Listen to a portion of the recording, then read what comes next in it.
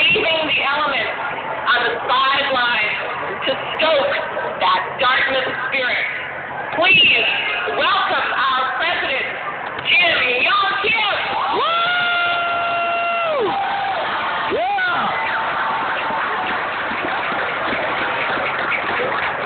Good evening, Dartmouth!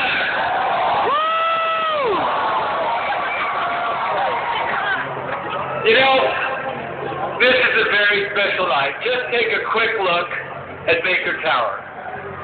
The green light is on, and that means that our beloved alums are back.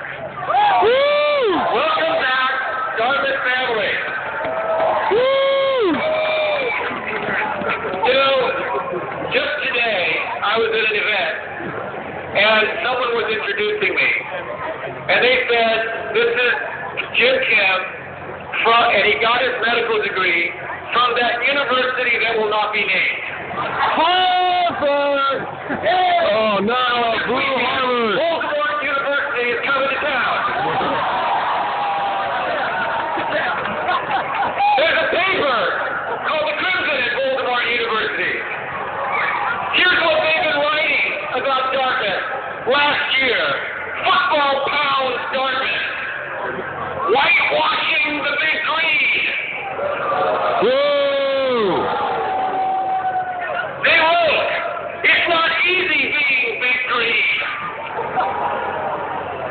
In 1999, they wrote, football frightens Dartmouth. Woo!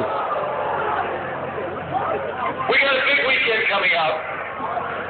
But the big weekend was started off right. The women's hockey team beat Brown, another inferior institution. Woo! Thank God.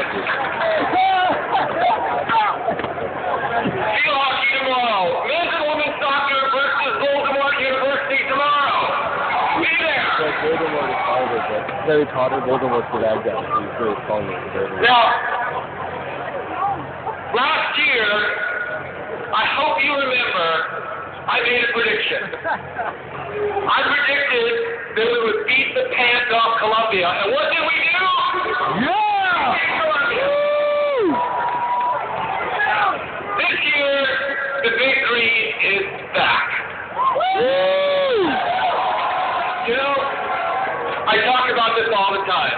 I love the fact that when I meet Dartmouth alums, in about three to five minutes, I can get them to cry.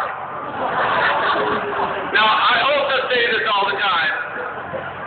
The folks from Voldemort University don't cry when they think about their alma mater. The only people who cry are the students who actually have to attend.